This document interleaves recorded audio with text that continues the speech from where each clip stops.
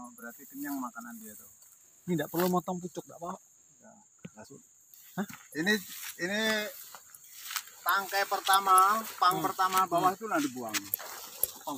Oh, selamatkan dulu batang pokoknya sampai ke sini boleh enggak? Udah tuh mecah lah di sini. Makanya buahnya atas bawah. Hmm. Banyak tuh biar kayak gede. Punya 150 kilo. Berarti Oh, nak nyemai melon kah? Untuk liburan kan? Tapi belum berani kok, Pak. Apa ya? Nyiram. Takut ah, bukan bukan nyiram, nyiram kok pakai infus lah, Pak. Pakai netes sendiri kan? Nah, Mecah pangkal lo belum berani, Pak. ah belajar dengan aku rok aku nggak hobi wae karena pemasarannya tuh di sini nggak butuh banyak sih Oh, sedikit betul banyak. Pak. nih kalau kalau yang bagus begini bertingkat deh bertingkat Jadi setiap butuh- tangkai di bebuah, oh. ah kan? Hmm. Iya. Setiap tangkai, ini lagi panen. Nih, setiap tangkai, Pak, iya, Bang. Wah. Ini lagi panen. Hmm, Bang. hmm. Masa diular daun, Bang?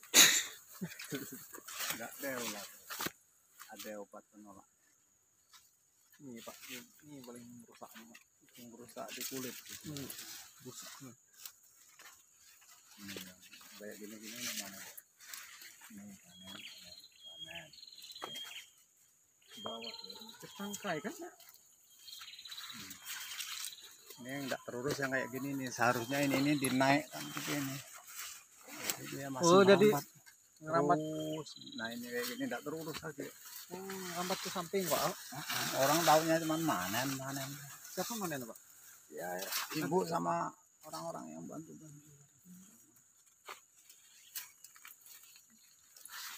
Tiap hari ini panennya bukan seminggu sekali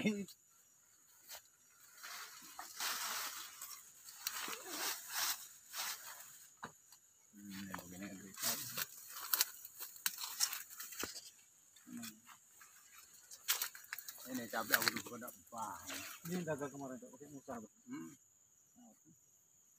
Setelah mulsanya hancur baru. Palan, Yo, mau cabai putih? Kalau oleh Mau. di rumah, sayuran nanti.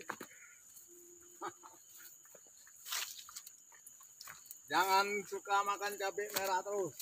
Hmm. Kawan aku tuh sakit perut, cabai merah tapi suka. Cabai yang sudah matang.